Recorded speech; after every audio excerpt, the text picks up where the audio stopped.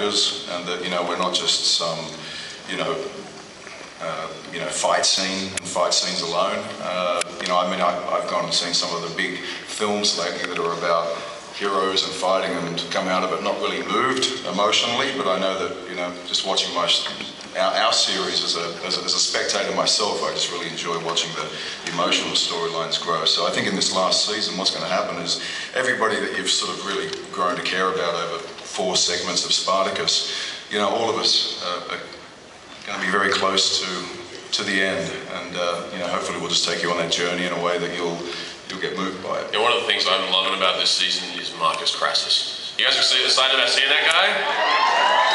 So I'll tell you one thing, Simon Merrells, who plays him, is unbelievable. He's uh, he's got a, like a, the canon of bad guys in the show is pretty high up there with Batiatus and Lucretia and Ilithyia and.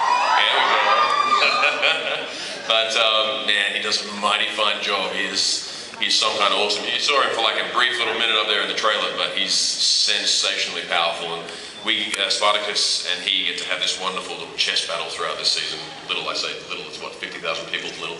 But, um, and, and uh, his offsider, Caesar, played by Todd Lasance, he's an exceptional actor and he, uh, he'll give you a Caesar you've never thought you could see before. It's going to be something special. Well, all right, this is a little sort of a different direction, but do you guys keep track of how much blood you use? Did we run out last season or did I make that up? You ran out of blood. Yeah, I got told that we were rationing blood by the end of last season because it was running out. We came straight from set onto the airplane to come here, and they hand out this hand towel. You know how the guy comes around, he gives you a hand towel to wipe your face? And Liam, after he wiped his face, it was like orange and red with like blood and makeup. he was sitting in us these back, was so funny. Yeah, so yeah, he couldn't stop laughing. Here, let me get photos of that forever. Thanks. Um, but yeah, no, it was it was the most embarrassing thing I've ever done. Is I've just gone, oh, that's so lovely, it's so refreshing, and oh, come off my face, Jesus. That's uh, yeah, things we do, right? I wish I was actually as tan as Manu was, because then I wouldn't have to have that every day. Think, oh well, you know, this bronze body doesn't make itself. And, and that's why you play the lead. I'm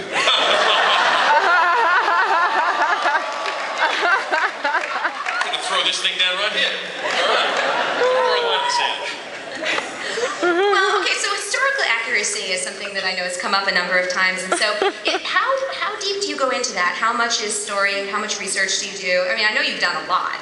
It's based on your life, isn't it, Steven? Yeah, pretty much. Uh, you know, we have a couple of great historical consultants, and I always like to say we're historically adjacent. Uh, you, you shouldn't write a college paper based on the show, uh, not for your history class, um, but we do stick pretty damn close to actual events that happen. It, it's interesting, in this final season, we have to compress a lot of events. So this is probably the one season that we stray the furthest. It's all the events actually um, more or less happen in history. We just had to squeeze them together and move them around to tell a, a coherent story.